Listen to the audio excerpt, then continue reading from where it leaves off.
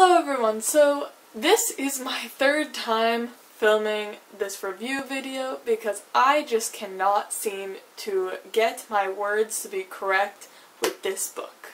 And that is Dance Dance Dance by Haruki Murakami. I have done reviews for every single Haruki Murakami book and this one is just giving me a lot of issues. I feel like I'm always slightly confused about my feelings for Murakami because his works are just very confusing, but I've never had this much issue just trying to figure out my own thoughts on a book before. I went into my Goodreads review and completely erased it and wrote it again from scratch, just trying to like figure out my thoughts very late at night. It was like 11 o'clock at night and I go to bed at like 9, so I was obviously just very confused. And when I was trying to edit my YouTube video for this, I just, I was so contradictory, it didn't make any sense. It was like a three minute review and I was like, I need to redo this. So I'm going to try to put my thoughts into words that make sense and also convey my actual feelings. So to begin with, this is Dance Dance Dance by Haruki Murakami, which is the fourth book in the Rat series by him, which goes Hear the Wind Sing, Pinball 1973, and uh, Wild Sheep Chase, and then Dance Dance Dance. And I am a personal believer that you should read the books in order. I realize they are technically can be read as standalones, but I personally think you should definitely read them in order just to get the full effect of it, especially because Dance Dance Dance is a direct continuation from A Wild Sheep Chase. It follows um, the unnamed narrator just a couple of years after the events of the Wild Sheep Chase, and he goes back to the hotel where that entire novel basically takes place while he's looking for his girlfriend. Let me begin by saying I went into this book with very high expectations because I adored A Wild Sheep Chase. It was one of my favorite Haruki Murakami books. I'm thinking I'm putting it at number two, just under, um, oh, win, oh, what, Wind Up Bird? Oh my god. Therefore, my opinion might be a bit swayed because I was going into this going, this is the fourth book in the series, and I was expecting a really good ending, but I just, I probably was a little bit biased because I was expecting something huge. Now in this review I am going to be comparing a, quite a bit to its prior novel in the series, so if you don't like comparison kind of reviews, you probably aren't going to like this video, but I did think that it was appropriate to compare the two because I did just read A Wild Sheep Chase and this is a direct continuation of it, like direct sequel, while the first two books could probably be read by themselves, but this one is like directly afterwards. So the reason I think I enjoyed A Wild Sheep Chase so much was that it is the perfect in-between of Haruki Murakami of his character exploration kind of books and his plot-driven books. Therefore, since these two are kind of right next to each other in chronological order, I was expecting this book to be on par with it and be a mixture of the character internal monologue, exploration of ideas and stuff, and an actual plot. And although I do really enjoy character exploration books, I do much prefer prefer the balance, kind of that Wind Up Bird, Kafka, and A Wild Sheep Chase had, and unfortunately Dance Dance Dance did lean more towards the character exploration portion, which again I didn't really mind, but I did prefer the balance kind of idea, and also I was expecting it after the previous novel. One thing I just felt like this book was very lacking in from the first book, again, if you didn't read A Wild Sheep Chase, I don't think you would notice this at all, but it was something that I was missing, was humor.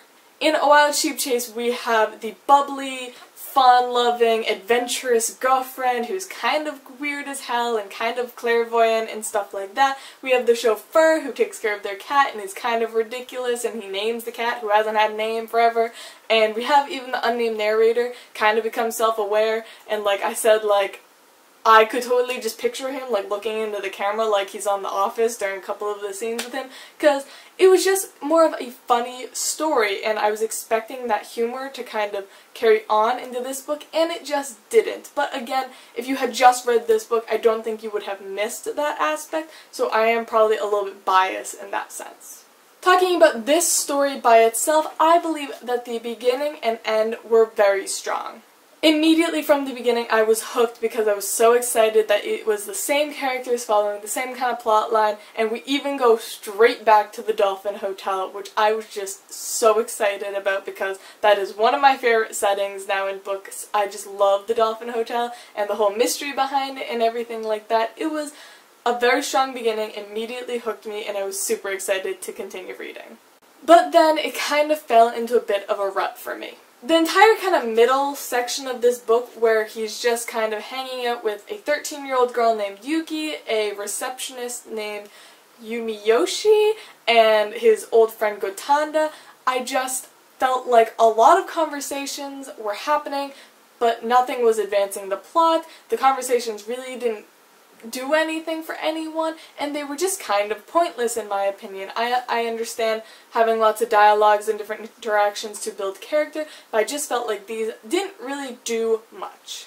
I also can't decide whether it was creepy as hell with the unnamed narrator and Yuki, who is a 13-year-old girl who he acts like a father figure towards, but he calls himself her boyfriend, which I cannot for the life of me tell if this is a translation thing and this is kind of like the Korean oppa kind of word and it just didn't translate correctly into English. Please tell me if you know Japanese if that is kind of what it was supposed to be like because to me it was very creepy having this 35 year old man hanging out with this 13 year old girl and calling himself her boyfriend.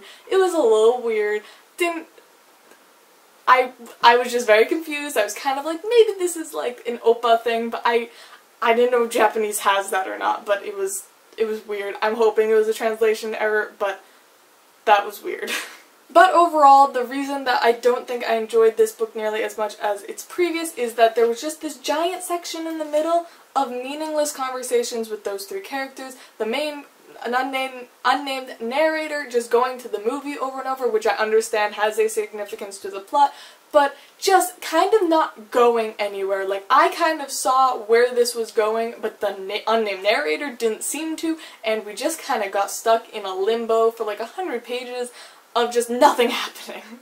I was also a little disappointed because the Sheep Man comes back in this book and he makes a couple of appearances, but I just really wish we had gotten to learn a bit more about him because he is such a fascinating character. I really wish we had gotten to explore more of his character and what all of that kind of stuff was about.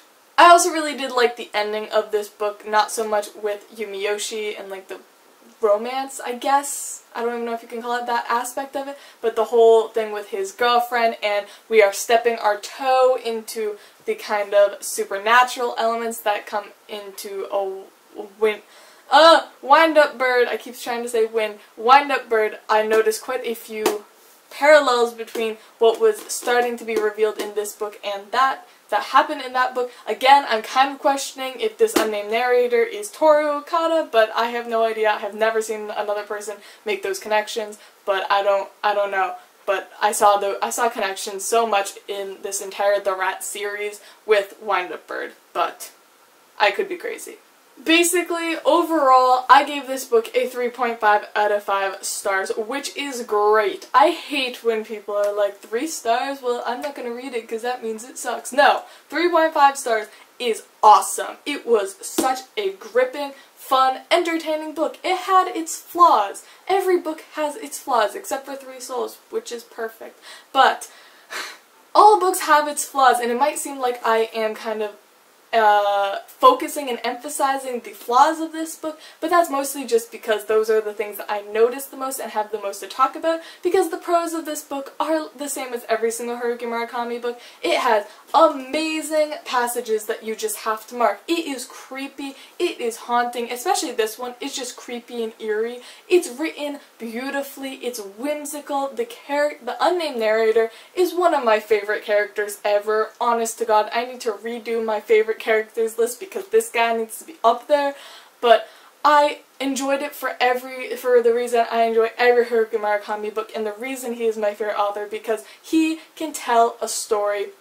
He can develop characters. He can show the weirdest things ever and I don't know where things pop out of his brain, but he is brilliant. Therefore, again, I gave this book a 3.5 out of 5 stars. I really, really enjoyed it. And I obviously love Haruki Murakami. If you guys have been with me the past couple of months, you guys have seen my adventure of reading him. Um, and I hope I've inspired some of you guys to pick up his books because he really is absolutely incredible.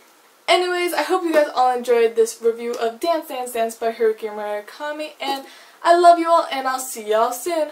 Bye!